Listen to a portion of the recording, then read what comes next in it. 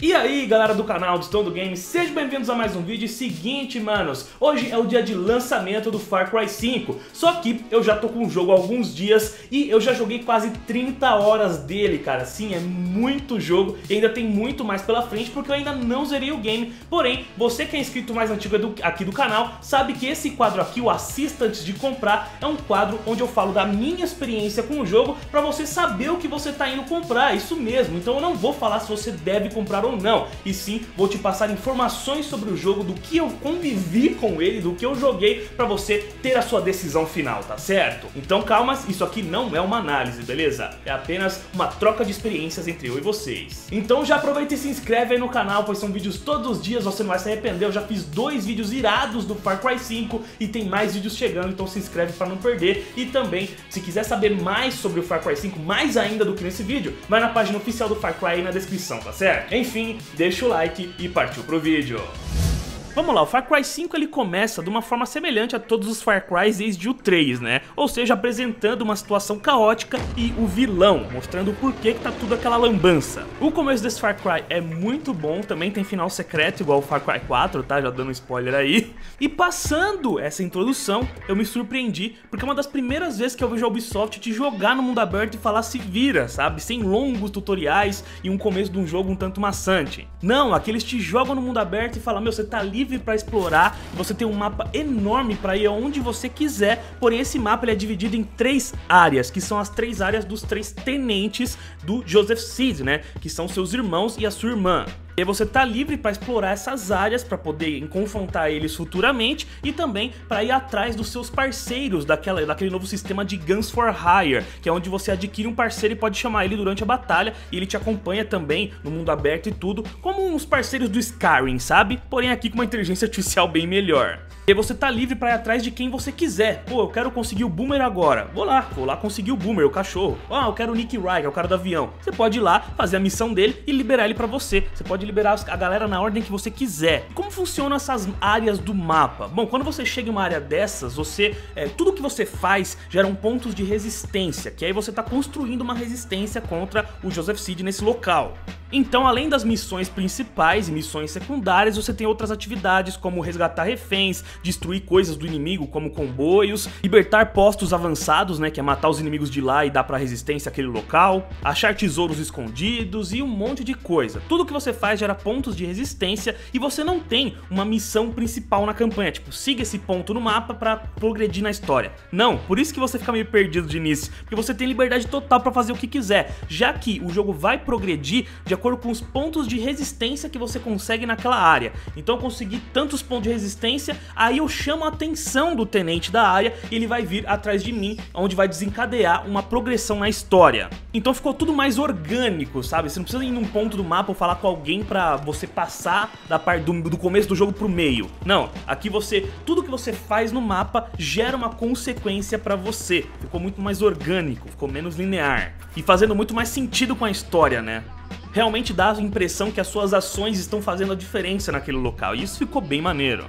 E ainda bem, a Ubisoft está aprendendo cada vez mais como tratar seus mundos abertos, né? Eu posso dizer que o Far Cry 5 é basicamente um Far Cry 3, 4 e Primal juntos, porém polido. Ou seja, ela pegou tudo que funcionava, aplicou aqui, melhorou, expandiu e tirou a parte chata. Então, por exemplo, aqui os mapas não são mais poluídos pra caramba, não tem um milhão de coisa no mapa fazendo você se confundir toda vez que você liga o videogame. Não, aqui tudo tá bem divididinho, você uh, consegue missões novas explorando o mapa esmo mesmo, andando por aí descobrindo alguma coisa, ou falando com NPCs específicos que te dão uma dica de onde pode ter uma missão. Então você ainda tem atividades pra caramba pra fazer, porém de uma forma mais direta, tá ligado? Menos poluída, com um monte de coisa assim, você... Aí onde que eu vou agora? Fora que se você sair andando por aí, explorando, você também vai fazer um monte de coisa. Vai achar tesouro, vai achar segredo, vai achar animal. Pois a fauna agora tá bem interessante. Tem touro agora para enfrentar, tem alce, tem coiote. Dá para pescar agora. E com a pesca você consegue é, pescar peixes, obviamente, mas vender esses peixes por dinheiro para comprar armas. E sobre o que eu disse da Ubisoft tirar a parte chata e maçante, seguinte, agora quando você caça animais,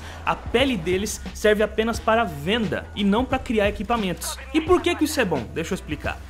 Vocês se lembram que em todos os outros Far Cry, por exemplo, você queria fazer mais um coldre pra arma, pra você poder equipar mais uma arma. Aí você tinha que caçar, sei lá, 5 guaxinins pra fazer esse coldre. E vai achar esses guaxinins, mano. Certeza que você gastar pelo menos mais de uma hora, dependendo do animal que você queria encontrar. Agora você não precisa das peles dos animais para fazer essas coisas. Não, você precisa de pontos de upgrade. E como que libera esses pontos? Através de XP? Não, nada de XP, de barrinha, nem nada disso. É através de completar desafios do jogo. Por exemplo, mate 10 inimigos com a metralhadora, mate 5 inimigos com granada, mande seu cachorro matar 5 inimigos. Com esses desafios você consegue pontos que você vai fazer todos os upgrades que você imagina. Desde é, respirar debaixo da água, até correr mais rápido, mais munição e coldres para sua arma, mochila maior e coisa assim. E por que, que isso é mais legal? Bom, porque você tira a parte maçante da coisa. Você consegue agora liberar tudo o que você quer no jogo através dos desafios que são divertidos e que não te obrigam a nada. Na verdade, eles te incentivam a jogar de formas diferentes.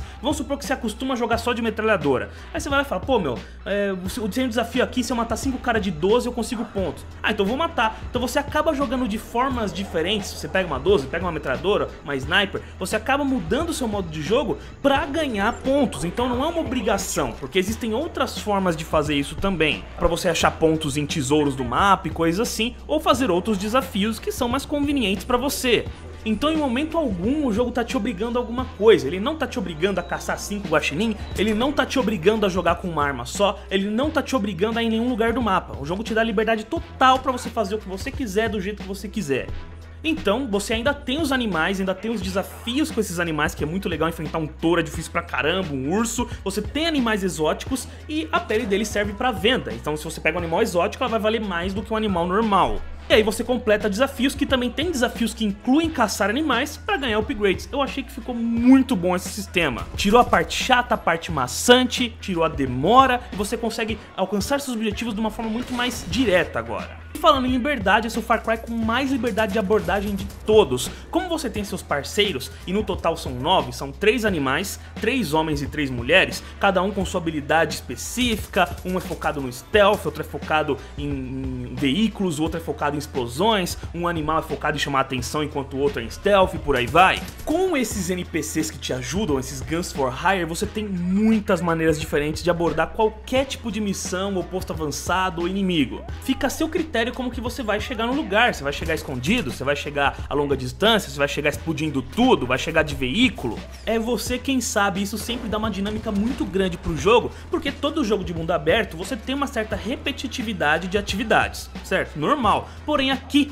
essas atividades não ficam repetitivas porque você pode abordar de muitas maneiras diferentes, cara. Eu já perdi as contas de tantas vezes que eu já troquei de armas para testar outras ou para testar outras abordagens, que eu troco de parceiros, que eu experimento novas abordagens e novas coisas para se fazer. E se você somar tudo isso ao fato de que o jogo tem muitas armas para usar, com muitas customizações, você pode trocar mira, silenciador, cor da arma, pode equipar armas exóticas, armas raras e coisas assim, fora que a adição de novas armas foram muito bem-vindas, como o Stiling, que você só mata com headshot, já que é uma pedra, né? Como a pá, que você pode bater com a pá nos caras ou jogar no peito deles, tá ligado? Encravar a pá no maluco, isso é muito irado dentre outras armas. Então, além de toda essa gama de armas, você ainda tem a gama de carros, de veículos, sejam aéreos, sejam é, marítimos, sejam terrestres. Você tem muitos carros, sejam eles de corrida, sejam eles carros fortes, carros monstros, carros equipados com metralhadoras, sejam aviões, helicópteros que jogam mísseis, que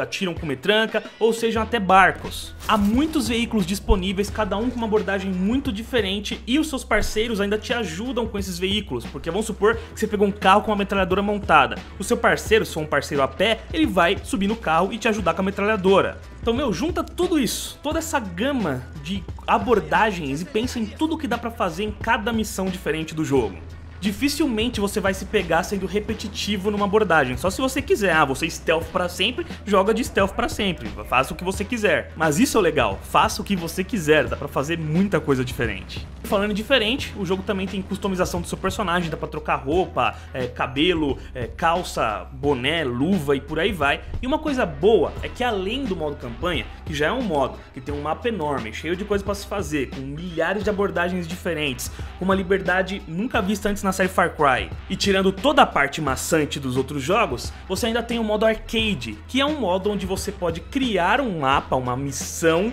né, seja para jogar sozinho ou em co-op, ou online, multijogador, time contra time, ou você pode participar de mapas criados pelos jogadores, no estilo de Little Big Planet, sabe? E isso é muito maneiro, cara. Os jogadores estão criando cada coisa maluca, mano. Vocês estão vendo aí de fundo, é só você escolher um mapa, ver a avaliação dele, jogar e aí você ganha XP dentro do modo arcade, que a cada level que você passa, você ganha dinheiro para usar no jogo, para usar no modo campanha, que é muito bem-vindo e também dá uma nova gama de coisas, né? Tem cada modo zoeira que os caras fazem, tá ligado? E aí você acaba achando fases que são toscas pra caramba, até umas que são malucas e até umas que são muito criativas. Tem umas que a própria Ubisoft fez e já disponibilizou, que também são muito legais. Tem até coisa que envolve, tipo, jogo de terror, cara, é muito legal. Eu realmente me impressionei com o modo arcade e realmente ele vicia. Se você ficar jogando e testando o mapa, você fica esquece da campanha, você fica só jogando o modo arcade. Que bom que quando você volta pra campanha, você tá lá cheio de grana que conseguiu no arcade, cara. Isso é muito bem-vindo.